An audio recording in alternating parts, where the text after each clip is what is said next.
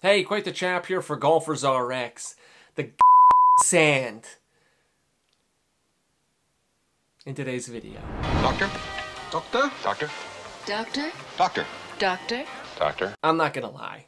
I am not a fan of the sand. Sometimes when I'm in the sand, I just pick my ball up and throw it on the green, and then I put that little asterisk beside my score that I completely ignore at the end of the round.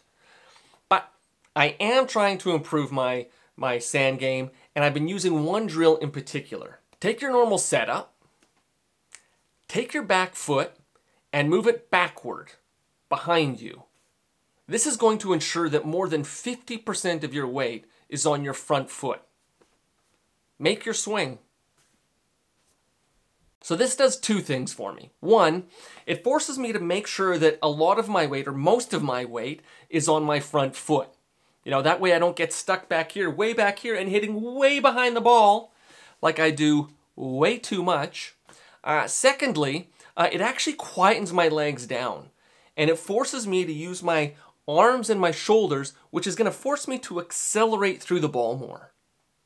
And pop that ball out of the sand instead of having to throw it out of the sand. Until next time, keep it simple.